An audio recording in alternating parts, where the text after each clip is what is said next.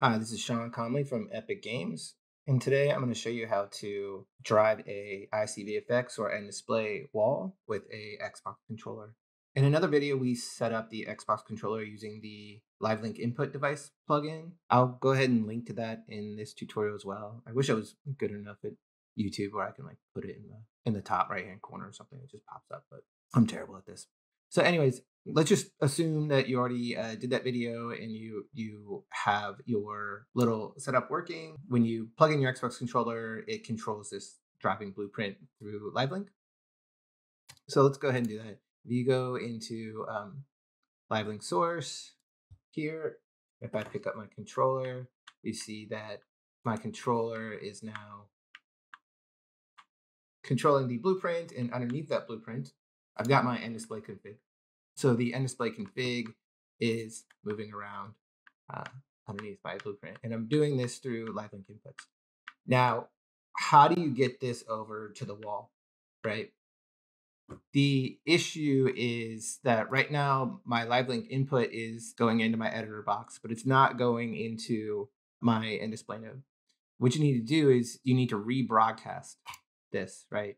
And rebroadcasting is basically sending this signal out. And once you rebroadcast it, if you go up to add source under this message bus source, you'll see this re- rebroadcast. So if you were doing this between two editors, like if you don't want to enter into a multi-user session, but you want to control another editor from this editor, this is a great way to do it, right? You just go ahead and rebroadcast, and then on the other editor, you you just go on to add source, assuming they're on the same network or VPN, and you go to message bus and you'll see this rebroadcast come in here. And then you just subscribe to that rebroadcast and you know, and one editor will control the other editor live link input.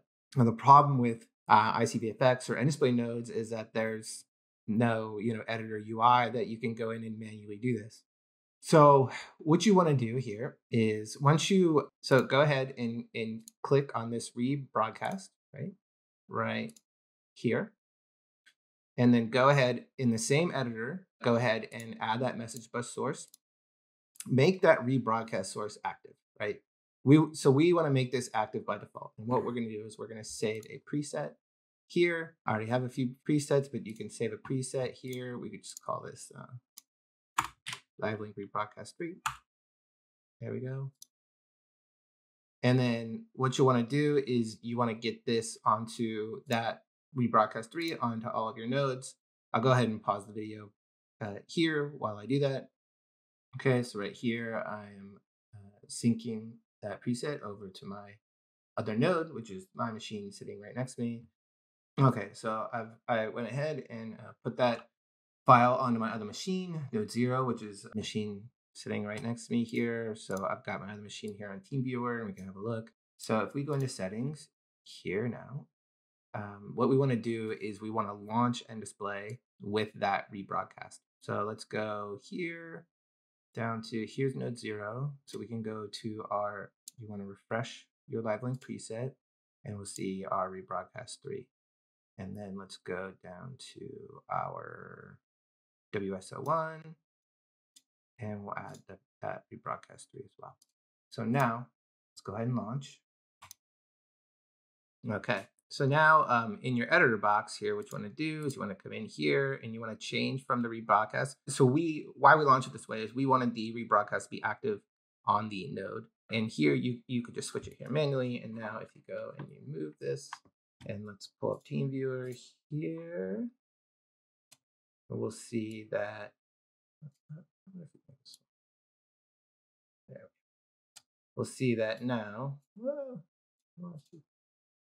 when we move our box here, we are moving our node. You can see uh, the delay is is from TeamViewer actually, but still. So now we are moving this thing around. And now we can control the wall through this technique.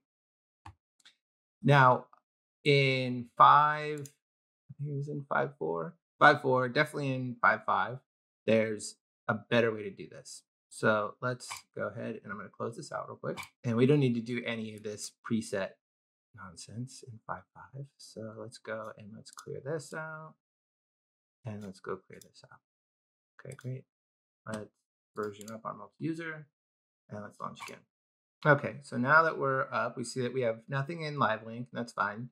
What you want to do for your project is there is this new thing called Live Link Hub right here. So go ahead and make sure that that plugin is enabled before you launch your sessions, of course. And under the Tools menu now, there is this thing called Live Link Hub.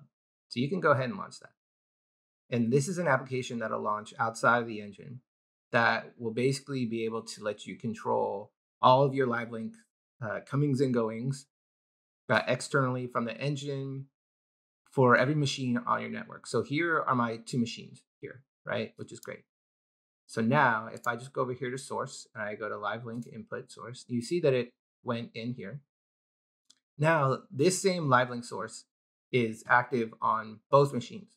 So we don't have to do the, you know, put live link input into one machine and then rebroadcast it to our nodes which is great. So now I'll just move this out of the way.